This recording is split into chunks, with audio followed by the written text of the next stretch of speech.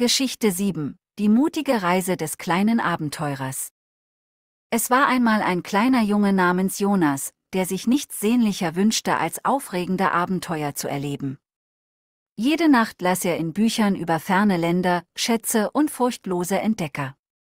Doch Jonas wollte mehr als nur lesen, er wollte selbst ein Abenteurer sein. Eines Abends, als der Vollmond am Himmel erstrahlte, konnte Jonas vor lauter Aufregung nicht einschlafen. Er beschloss, seinen Traum in die Tat umzusetzen und sich auf eine mutige Reise zu begeben.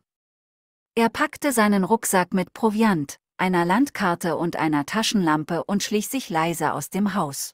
Jonas folgte den Sternen am Himmel und wanderte stundenlang durch einen dichten Wald.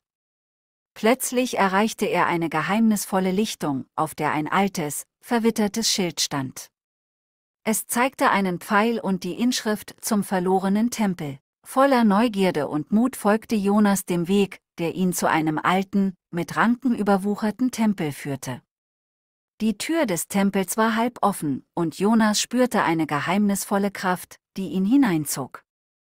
Im Inneren des Tempels entdeckte Jonas eine prachtvolle Halle voller antiker Artefakte. Doch das Wichtigste war ein uraltes Buch auf einem steinernen Podest.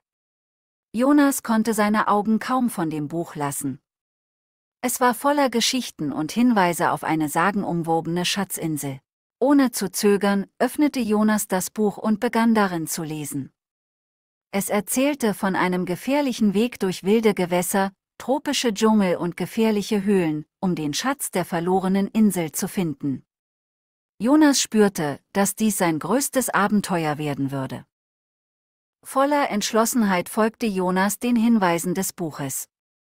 Er segelte auf einem selbstgebauten Floss über tosende Meere, überwand gefährliche Klippen und kämpfte gegen wilde Tiere im Dschungel.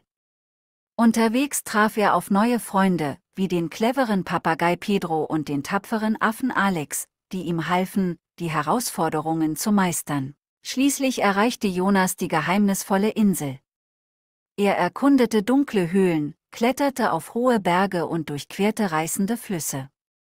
Nach vielen aufregenden Abenteuern entdeckte er den versteckten Schatz, eine Kiste voller funkelnder Juwelen und geheimnisvoller Artefakte. Mit dem Schatz in seinen Händen kehrte Jonas stolz nach Hause zurück. Seine Familie und Freunde staunten über seine mutige Reise und bewunderten den Schatz, den er gefunden hatte. Doch für Jonas war der wahre Schatz die Erfahrung, die er gemacht hatte und die Freundschaften, die er auf seiner Reise geschlossen hatte. Nach all der Aufregung und dem Jubel kehrte Jonas schließlich zu seinem Bett zurück und legte sich zur Ruhe. Er war erschöpft, aber glücklich. Jonas wusste, dass er einen Unterschied gemacht hatte und dass Abenteuerlust und Mut die Welt zu einem aufregenderen Ort machten. Und so schloss Jonas seine Augen, träumte von weiteren spannenden Abenteuern und fiel in einen tiefen, erholsamen Schlaf. Gute Nacht, meine lieben Kinder und mögen eure Träume euch in atemberaubende Welten der Abenteuer und des Muts führen. Denkt daran, dass ihr die Helden eurer eigenen Geschichten seid und dass ihr die Kraft habt, eure Träume wahr werden zu lassen. Träumt süß und lasst eure Fantasie eure größten Abenteuer entfalten.